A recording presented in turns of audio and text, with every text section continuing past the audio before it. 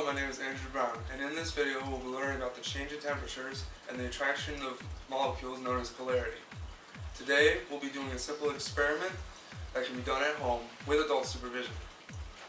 For this experiment you will need a large bowl of water, a round-edged cup, warm water, dish soap, dry ice that can be bought at certain supermarkets, paper towels, and protective materials for your eyes and hands. Warning, dry ice is a skin irritant. Use gloves to handle. Dry ice is harmful if eaten or swallowed. Avoid direct contact with skin. Adult supervision is required. Make sure that you use a towel to protect your table or any other surface that you might be working on. Take your cup and pour warm water into it.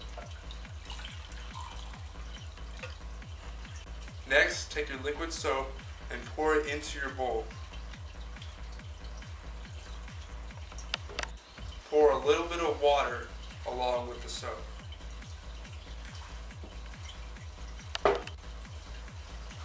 Take your paper towels and roll them up into a tube shape.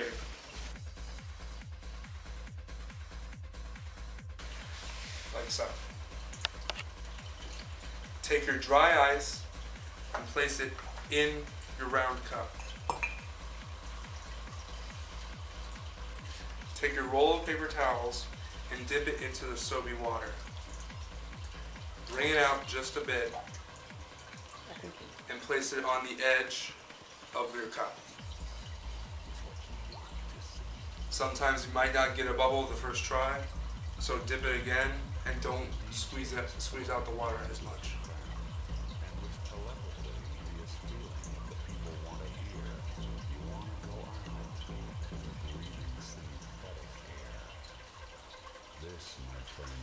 And as you can see, the gas is forming a bubble.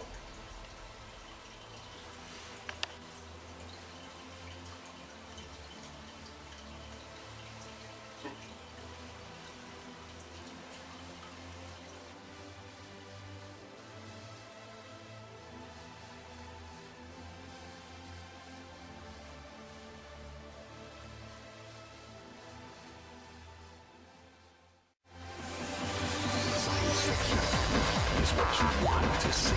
Science fiction.